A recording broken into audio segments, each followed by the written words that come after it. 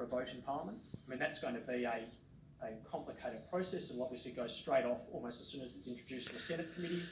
I expect that there'll again be a heavy round of consultation through the Senate committee, which will be the third round because we had the Ruddock review, obviously the consultations that, that I've conducted, and then you'll have Senate committee. So I just I don't have a particular date in mind for passage through Parliament, and I can see that that is going to be a complicated debate.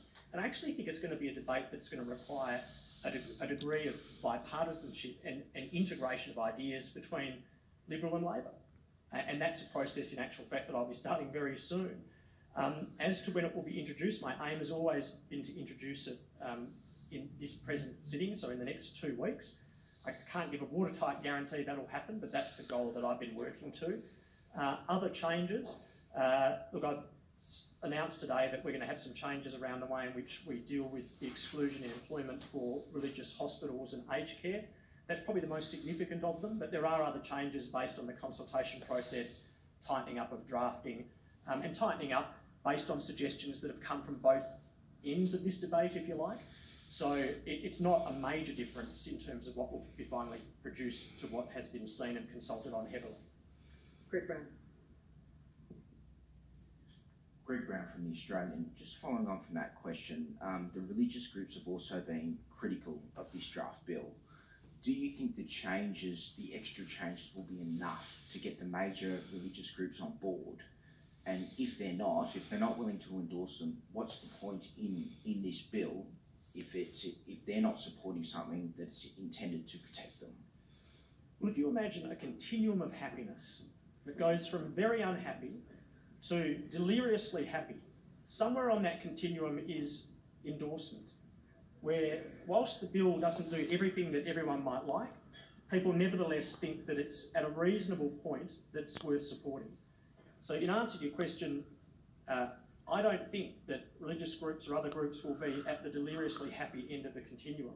But I think that particularly with religious groups, there will ultimately be endorsement because the bill does some really important things. For instance, in the example that I gave in this speech, it protects people from being excluded from a club or a room or an association based on their religion. And it does some very important things in the present draft in section 41 about how it gives some strength and protection to freedom of religious expression, particularly in the workplace environment. Now, these are all things that religious groups have asked for. They're matters that, as substance, are delivered, but it would be a bad outcome if everyone felt that they got everything that they wanted out of this process. It is ultimately the most grinding process of balance and compromise, but ultimately that process, like all democratic processes of compromise, can actually produce a sustainable result that does something better and achieves a better outcome than the circumstances we have at the moment. Andrew Tillett. Uh, Andrew Tillett from the Financial Review. Uh, thanks for your speech, Mr Porter just going back to um, Sabra's question around, the Union Integrity Bill, you said in your response how the CFMU effectively just treats fines from the court as a cost of doing business. Uh, you're speaking at the press club today on a day when we found out Westpac's accused of breaching money laundering rules 23 million times. When, West, when Commonwealth Bank was accused of similar sort of uh, behaviour, it ended up paying a fine of $700 million out of in a year it booked a $9 billion profit, a cost of doing business perhaps in your words, to borrow your words. Um, given the concerns of the union movement and which Senator Hanson and Senator Lambie seem sympathetic to, that, that a, a nurses union could be rubbed out for failing to keep its um, books up to date, do you agree at the very least you've got a problem with the perception that you're trying to use a a sledgehammer to, to crack a walnut, and that it's a very unfair, and you're just out to get unions while the corporate end of um, Australian community gets away with it. Well, I mean, it depends on. Well, if I just might make a comment on the West Westpac matter, I mean, obviously that has been announced today. Um, it is indicated that there are 23 million potential breaches of the relevant act. As, as you point out, Andrew, and I supervise that settlement with the Commonwealth Bank, that um, related to 53,000 breaches of the AUSTRAC legislation, um, and that resulted in a settlement of $700 million. And I, I, don't have the information. I don't know whether it's available as to whether or not those 23 million fall into the same category or whether they're less or more serious matters, but that'll all get unpacked that is a matter of the utmost seriousness. I mean, it's on its face completely appalling, uh, but we need to know more about it, which is APRA's job, that it's appalling. Now, in answer to your question about, if you like, the analogy between different set of circumstances, do we honestly think that it is a minor matter, a walnut, that a CFMEU official bullies, intimidates and lies to an electrical apprentice turning up at student accommodation just trying to do their job to put solar panels on a roof? Because that's the behaviour that is going on. It's not a walnut. It's unbelievably serious. It's unbelievably costly. It's incredibly repetitive. It is a single union basically viewing itself as above the law. And the present laws have not been able to rein in that behaviour. So I would hope that having a comparatively strong approach on corporate misfeasance and union misfeasance is an even-handed way to go about government trying to maintain the rule of law. And the other thing to recall is that with the Ensuring Integrity Bill, it applies perfectly equally to employer and employee associations, as does the Workplace Benefit Fund Bill. So it's not one-sided, it's a reasonable response, and ultimately this view that's been put out there that a nurses union could get deregistered for a minor breach of industrial law, it's just wrong. I mean, it's just fanciful. And it actually shows, I think, where you retreat to when you don't have a good argument against reasonable legislation meant to fix a known problem, where the problem is absolutely rampant unlawfulness on workplaces. It's not a walnut. Certainly not a walnut if you're on a workplace being bullied by a CFMEU member just because you're trying to turn up and do your job. It's disgraceful and it's got to stop. Lani Scarr. Lani Scarr from the West Australian. If you don't succeed in getting the religious Freedoms Bill through the Parliament, will you have failed the quiet Australians who voted for this government? And one of the biggest criticisms that has been levelled at you by your detractors has been that you're not a person of faith, so you can't possibly be the right person to formulate this bill. How do you respond to that? Are you a person of faith? Are you an atheist? Should it matter? Well, um, yeah, I did. I did read that um, criticism in the paper that I didn't believe in God and therefore couldn't be Attorney General with respect to this bill. I don't know how you'd appoint a temporary Attorney General um, to deal with a religious discrimination bill. But equally, when I read that statement, I thought, how does this person know what I believe in or not believe in? Like, I'm not a regular church goer, but that doesn't mean I don't believe in God or don't have, you know, religious sentiment or faith, if you want to want to call it that. But ultimately, if I'm right that this is a balancing exercise, I think that it, it is actually probably best conducted by someone who doesn't have a very, very strong view one way or the other, because you're trying to balance views and produce an outcome. But ultimately, the bill is about protecting people of faith from known problems. And my job is to get a bill that moves through our party room that can be endorsed, which is the word I've used earlier, by religious groups as fixing or potentially fixing those known problems. Now, I can't guarantee passage through Parliament. No one can in a Senate where crossbenches and crossbench negotiation goes on. But I am looking at this in stages. The first stage is drafting, the second stage is consultation, the next stage is the final draft that goes into Parliament. And then the job turns to securing the passage of that final draft through Parliament. But the job at the moment is, after consultation with religious groups and other groups, to have a final bill that fixes known problems in a way that is balanced and fair to everyone involved. You're not a regular churchgoer, but do you believe in God? Yeah, I, I mean, I believe in God. Sure. It's very dangerous not to. Never know what could happen. Andrew Probyn. Mr. Porter, Andrew Probyn from the ABC. Um, the government's been facing a, a class action over the robo debt regime. In the short shadow of that class action, some changes were made to that regime. Can you confirm um, that this was partly inspired by some legal advice that the government got about the um, unlawful nature of that regime, perhaps potentially um, whether it was illegal? Could you tell us what advice you did receive, the government has received, and whether it's about uh, registering debts through algorithms or whether it's the reverse onus proof? Yeah, so Um, in, in a global answer to your question in its general sense, will I waive privilege over government legal advice? You'd expect the answer is no, but there are matters that have been conducted through the courts, um, two individual matters, and as you noted, there is a class action on foot. You can imagine that any government, depending on where those matters are in the, the process of litigation, seeks advice on those individual matters. Uh, and that's fed in, obviously, to decision making in the Department of Human Services and in the Minister's office. But again, as Stuart Robert noted yesterday, I think it was, this is an issue that pertains to a group of people, the number of which is unknown, but obviously that's the work that's being done, who were sent a notice to respond to the Department of Human Services based on the data income matching to explain a discrepancy, but who made no effort to engage and did not engage with the department. So that is a group of people.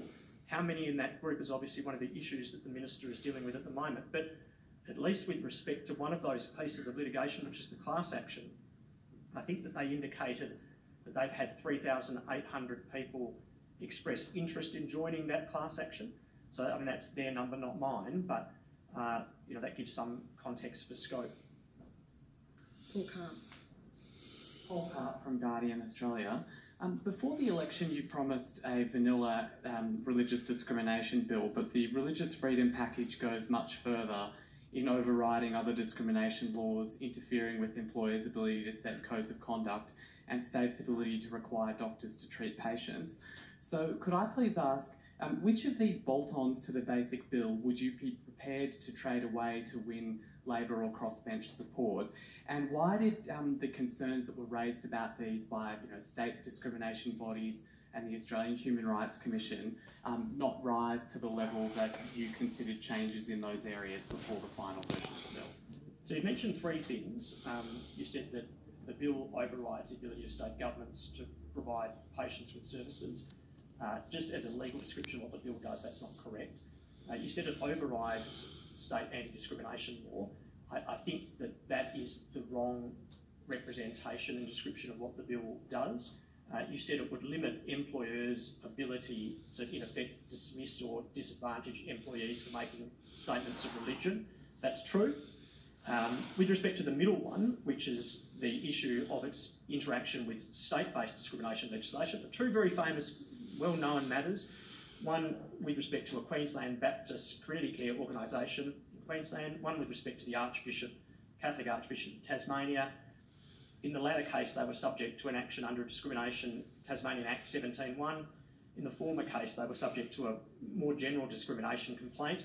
In both instances, neither individuals did anything more, essentially, than put a pretty standard view about marriage based on their religion.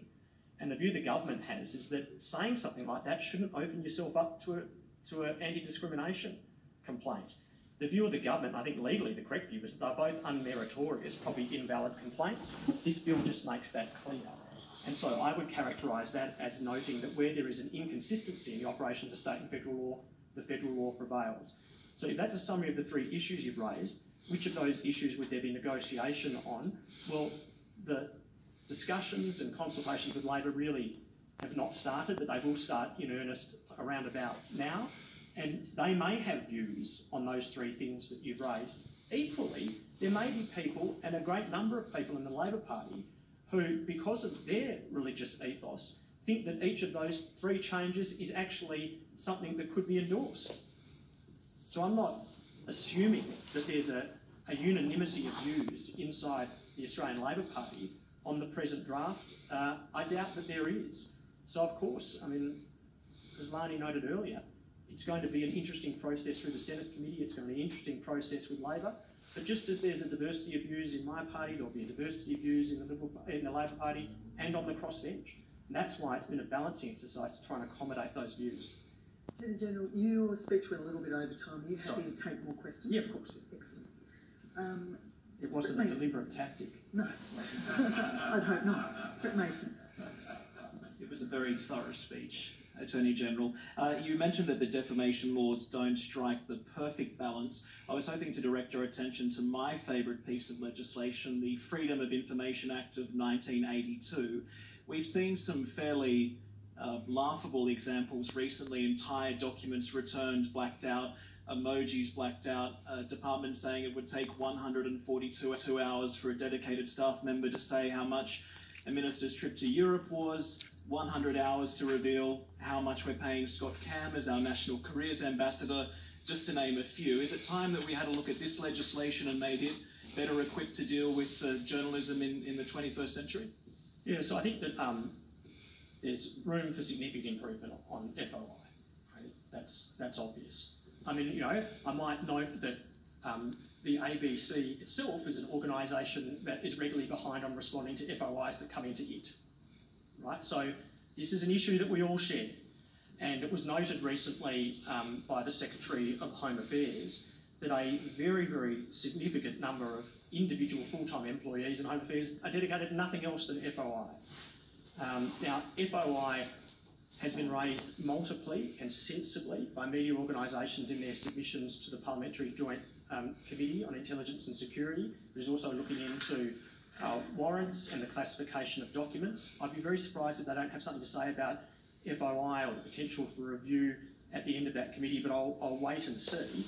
But if I had to offer you one observation about FOI, in the way that the original FOI Act was drafted, because everyone has an equal right to the process, there's no triage in the process.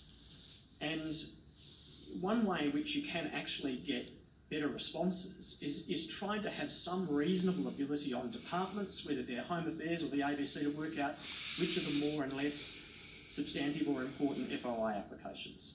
Uh, some of those examples you've given, I think, are good examples of poor responses. Tegan George. Mr Porter, Tegan George from Network 10. Just to draw you back on the allegations levelled against Westpac, how can Australians be expected to trust the promises uh, the big banks made in the wake of the Royal Commission? And are there or should there now be questions surrounding the practices of the other big banks? Well, I mean, in part, that's a question that has to be asked of banks. But when you look at the response of the government to the recommendations of the Royal Commission, it's absolutely thoroughgoing, completely. When you look at individual instances where these matters have arrived, and we, we raised the one of the Commonwealth Bank, you know, which matter because of the way in which the litigation rules work at the Commonwealth level, you know, I was a large part of settling $700 million for 53,000 breaches of the relevant APRA legislation. Now, it, it is, I just have to stress, early days on this Westpac matter, but the matter looks to be incredibly significant. And it will be dealt with in accordance with that fact that it is incredibly significant. And as I said, I used the word before appalling. I'm sorry to have to use it today, but that's what it is. And you can imagine that it will be dealt with very, very thoroughly by government, by APRA, by executive government, that if there's any particular issue where people take a view that the response of the government haven't been strong enough against the bank's post-Royal Commission, uh, we can ask individual questions on that, but every time we've had a recommendation, we've thoroughly adopted it, uh, and I think the response has been strong, very strong. Amanda Copp. Amanda Copp from National Radio News. We broadcast to community radio stations around the country.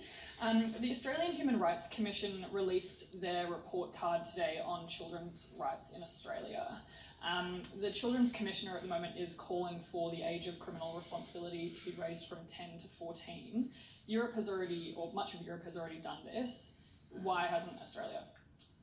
Uh, well, um, I must say personally, I'm not an enthusiast for that particular reform. Um, I myself have prosecuted matters and there is what they call doli incapax, which is the, the legislative rule around the instances where you can conceivably, pursuant to a very rigorous process, um, prosecute someone in between that age group that you've noted. So I'll just say up front, I'm not a particular enthusiast of that that change. I think the present system is actually quite well balanced. It's a very, very difficult thing to prove that someone under that age had the mental capacity to understand what they were doing was wrong to the extent that at law you can actually prosecute them. As you know, there's a push by, by some, I'm not saying that they're completely wrong or anything like that, it's an alternative view, but there's a push by some to change that so that you could never have a prosecution of someone under 14. Uh, that was a subject of a Councillors of Attorney General paper uh, put on, I think, by recollection from Western Australia I didn't stop that paper going on the CAG agenda, but I would say to you, I'm not a particular enthusiast of that, that reform move. Katina Curtis. Katina Curtis from AAP. Attorney General, you've flagged a start to deregistering the CFMEU within months, and you've spoken um, at length today about some of their behaviour, their history of behaviour. But in the construction industry, there were 24 workers killed last year, and today there's PwC figures out that suggest that the industry is one of the biggest risks for wage theft, um, with some $320 million a year going unpaid. So do you see that it's inevitable that the policing of safety and underpayments would be collateral damage from a new regime? Well, the, the Ensuring Integrity Bill doesn't change the law one iota on the ability of union officials to act on safety matters or enter workplaces on safety matters. In response to wage theft, we've noted that we are going to bring in, and that will happen shortly, a draft for a criminal offence of wage theft.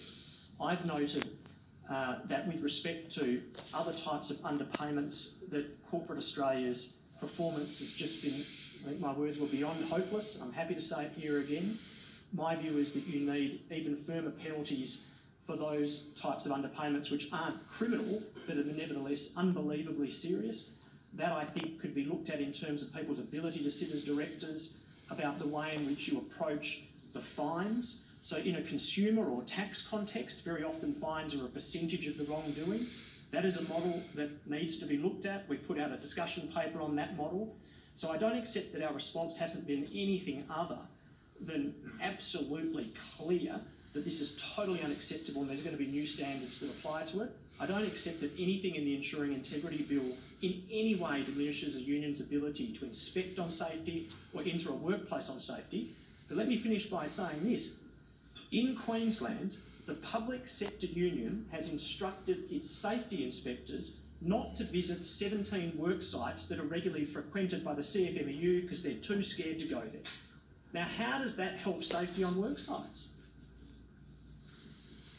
Just on the uh, wage underpayment issue, why not consider criminal penalties? I mean, you say that you were absolutely gobsmacked by the by the re- recent revelation of Woolworths, pointing out that you're sure that they know how much stock is on their shelves and how much inventory is out the back, and yet they can't be crossed how much they're paying their staff. I mean, why, why not criminal penalties? But we are. I mean, we, we've undertaken to do that. We've put out a full consultation paper, all the submissions that you it we have said clearly there will be criminal penalties for wage theft. What we ask is, how do you define wage theft with respect to other types of underpayment? With other types of underpayment that don't meet a criminal standard of wage theft, which we have absolutely undertaken to do, my view is that the penalties that apply to those should nevertheless be increased. When we came to government, we increased the penalties for serious instances of underpayment by a, a factor of 10, by tenfold. That message hasn't gotten through. What we've now said is you need to look at other models where you adopt even more significant penalties, looking at the way that we penalise people for tax avoidance, looking at the way that we penalise people in the consumer context, where you take a percentage of the, the quantum of wrongdoing, if you like. So we are doing a criminal penalty. We've already increased the penalties for serious underpayment, they'll probably be subject to further increase. And further, even the things that are regular underpayments that we're seeing, clearly the penalties that exist aren't enough. Now, I don't know what more we could undertake to do. That's a pretty fulsome suite. But I just think, like every Australian, everyone's just fed up with it. Absolutely fed up with it. And as I've said, large organisations with sophisticated payrolls from ABC, Maurice Blackburn, Woolworths, Bunnings, they should be able to get these things right. And had they been paying the same level of attention to these things as gets paid to a lot of other things, I'm sure they would have done a much better job. Our job as government is to now direct their attention to these matters. Rest assured that's going to happen. I think one more. Dana McCauley. Uh, Dana McCauley, Sydney Morning Herald and The Age. Thank you for your speech. Um, you've raised some issues with how a National Integrity Commission could unfairly damage reputations and ruin careers if not approached cautiously. Jacqui Lambie, um, says she still has concerns with the Ensuring Integrity Bill, has said you don't end the career of a union official or cancel the registration of a union on a lark. Uh, both she and Pauline Hanson are seeking amendments, further amendments to the bill. Rex Patrick is open to potentially raising the threshold for those demerit points that you've agreed to. Is that something you, that you're open to doing in order to uh, get this bill passed this year? Yes, absolutely. And as I said, the process has been we've worked with Rex Patrick on a range of a, range of amendments. Essentially, those amendments set up a penalty unit system, like a three strike system, using the existing penalty unit structure of the Act. Totally open that that's what we've been looking at with him, which means that in my view, the scenario that you've described is impossible under the bill as it is with the amendments. It's just inarguably impossible. Like not even the unions can argue that it was possible. I think the penalty unit system's a fair one. We've been negotiating those with Rex Patrick. There have been amendments that have been um, discussed and negotiated with Pauline Hanson. I believe she's putting those out today. The question becomes, does Rex Patrick want any changes to his amendments based on what One Nation's done? That process will happen swiftly. But the upfront answer to your question is what Rex Patrick has suggested to us. We have helped with drafting on. It's perfectly reasonable, it's precautionary, and it still means the bill is able to do what it essentially seeks to do, which is end the unlawful behaviour on Australian construction sites. To, to raising the level of the demerit points. Yeah, well, that, that is the, sub, the subject and substance of the amendments that we have agreed with Rex Patrick that we will release. Ladies and gentlemen, please join me in thanking Christian Porter.